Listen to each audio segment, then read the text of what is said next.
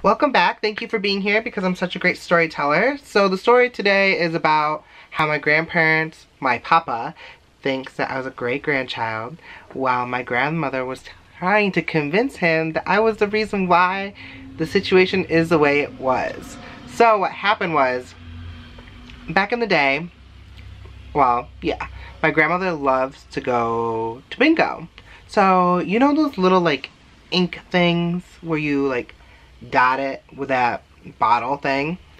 Well, since I was an only child for like the longest time and my grandparents had two sets of stairs at their house.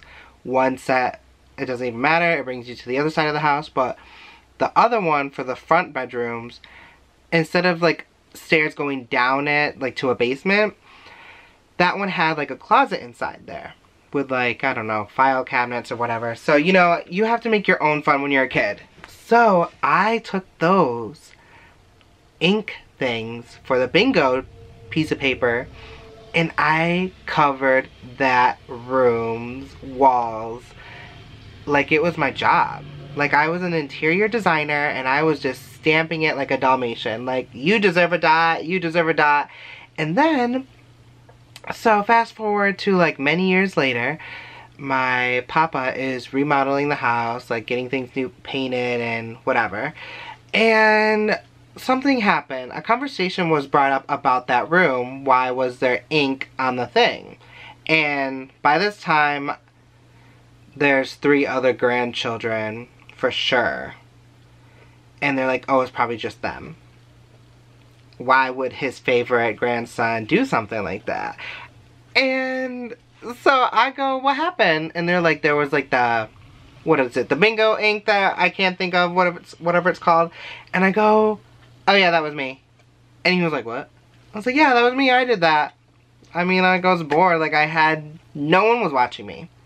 You know, I literally, my mom was thankful, you know, that I had a babysitter. But my grandparents were just like, yeah, have chocolate, do whatever you want.